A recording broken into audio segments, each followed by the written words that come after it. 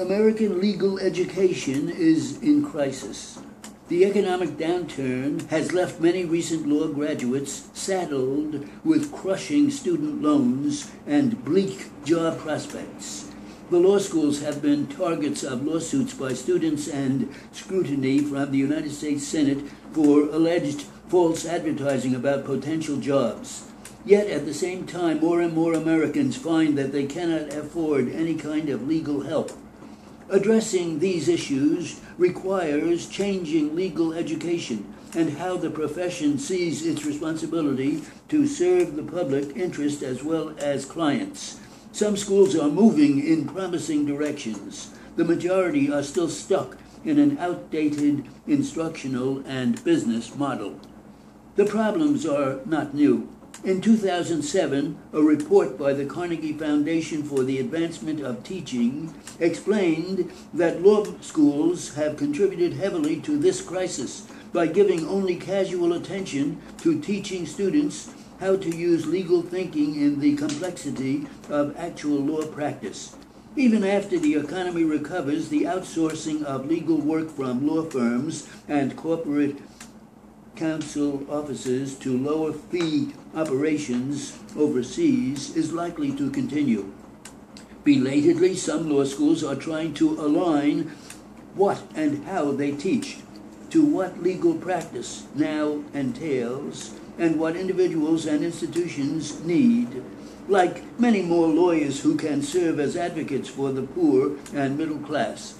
Instead of a curriculum taught largely toward professors' grilling of students about appellate schools offering more apprentice style learning and legal clinics and more courses that trim students' multiple future roles as advocates and counselors and deal shapers and problem solvers, with new legal issues arising from the use in business and government of management, and some schools teaching students software as legal code to solve system wide problems, then exploring ways to reduce tuitions and make them more sustainable is important.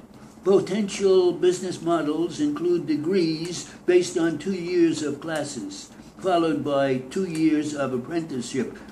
In American law schools, the choice is not teaching legal theory or practice. The task is to teach legal ideas and skills in more effective ways. The method has been the foundation of legal education for years. The premise was that students would have reasoning by studying appellate rulings. That has treated law as a form of science and as a source of knowledge. That vision was dated by the 1920s. It was gone by the 1960s. Law is not regarded as a means rather than an end. It is a tool for solving problems. In reforming law schools, they have the chance to help reinvigorate the profession and rebuild public confidence in what it can provide. Finally, in many countries, using a camera or taking notes can get you into trouble.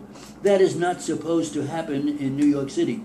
Yet, as police cleared Occupy Wall Street protesters from Zuccotti Park in lower Manhattan on November 15th, a number of journalists were roughed up and arrested. Many were prevented by police from documenting what happened that night. Police Commissioner Raymond Kelly should take a hard look at how officers ignored the department's guidelines for dealing with the news media, which prohibit interfering with news gathering activity. In a letter on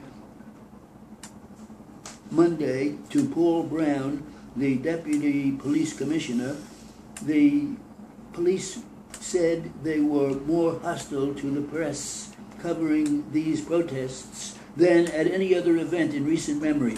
Before clearing tents and other structures from Zuccotti Park, for example, a police representative asked journalists in the area for press credentials. Reporters and photographers do not need credentials to be in a public area the passes are supposed to give them better access.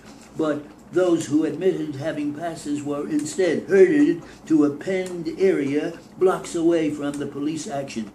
In another spot,